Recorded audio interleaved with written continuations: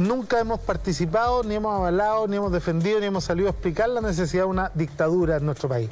Siempre hemos sido un partido absolutamente eh, apegado al orden institucional y a la democracia, cosa que la mayoría de los partidos que nos critican por cosas que pasan muy lejos, pues yo no sé si algunos se han enterado en esos sectores que el Partido Comunista de Chile no gobierna en Cuba ni gobierna en Venezuela, ni tiene ninguna responsabilidad sobre lo que en esos países sucede. Pero tienen, lo que amistad, sí tenemos... pero tienen amistad. No, mira, ni siquiera amistad. Y yo lo he dicho. Cercanía, ¿ah? amistad, yo reto a cualquier periodista que me muestre una declaración del Partido Comunista apoyando al gobierno de Nicolás Maduro. Pero tampoco hay ninguna No, reprochando alguna de las A acciones, ver, ¿no? es que sabes que nosotros somos eh, muy responsables en términos de que conocemos nuestra propia historia.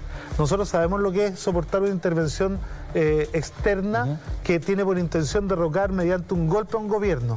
Por ejemplo, a mí me ha llamado mucho la atención que algunos que no dicen que no hay que participar en las elecciones en Venezuela estuvieron dispuestos a participar en las elecciones de Pinochet del 88. Yo no sé cuál tiene más garantía. Él fue electo en un gobierno, eh, en una elección democrática, pero además te voy a decir una cosa. Nicolás Maduro va a la segunda reelección.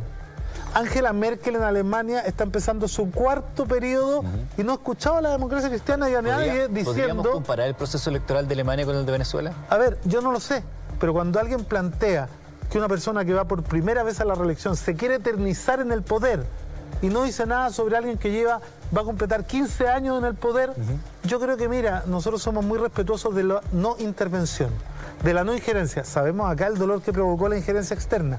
Sabemos quién acaba de llegar eh, a la presidencia de Estados Unidos y hoy día quien acaba de llegar a la Cancillería norteamericana. Estamos hablando de las personas más duras, más interventoras que sembraron nuestro continente de dictadura, que apoyan el terrorismo de Estado israelí, que apoyan eh, las monarquías absolutas en Arabia Saudita, que apoyan la monarquía de Marruecos.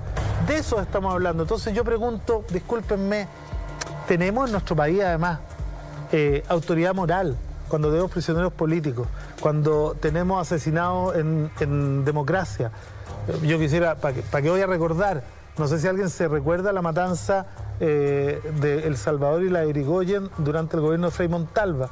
Matanza de trabajadores. Sí. Entonces yo creo que aquí hay que ser muy justo, muy prudente, pero además muy cauto y respetar los procesos y los procedimientos de otros países. Daniel, te voy a invitar a que, pas- a que pasemos acá a una pizarra. Encantado. Porque hay- ah, tenemos una gráfica para presentar este momento, por favor.